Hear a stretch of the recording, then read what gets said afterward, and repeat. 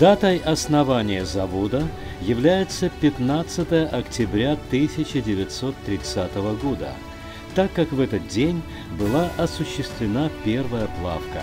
Гомсельмаш превратился в полноценное самодостаточное производство.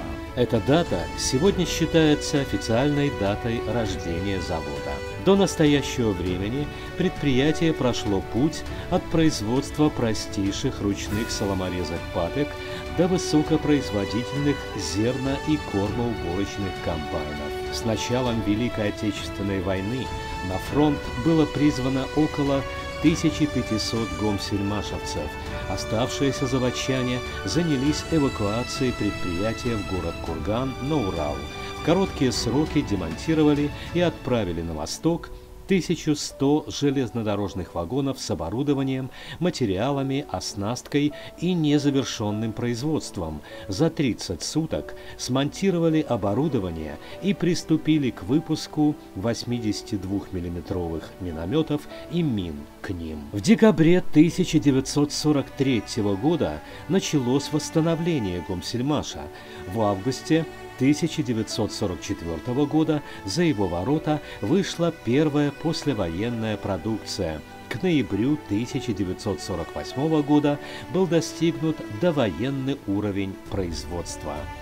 В 50-х годах завод стал специализироваться на производстве прицепных силосоуборочных комбайнов. В конце 70-х началась реконструкция предприятия под освоение выпуска самоходной кормоуборочной техники. Первые серийные отечественные самоходные кормоуборочные комбайны КСК-100 вышли за заводские ворота 25 марта 1977 года. С конца 80-х годов на Гомсельмаша велась разработка универсальных энергетических средств Полесья ОС-250, а 24 августа 1996 года на полях совхоза Ветковский президенту Беларуси Александру Лукашенко был продемонстрирован в работе первый отечественный зерноуборочный комплекс КЗР-10 Полесье-Ротор – с этого дня начался отсчет эры зерноуборочного комбайностроения Республики Беларусь. Сегодня на Гомсельмаше освоен выпуск 11 моделей зерноуборочных комбайнов и 75 их модификаций, находятся в стадии разработки или в стадии завершения подготовки производства еще 7 моделей.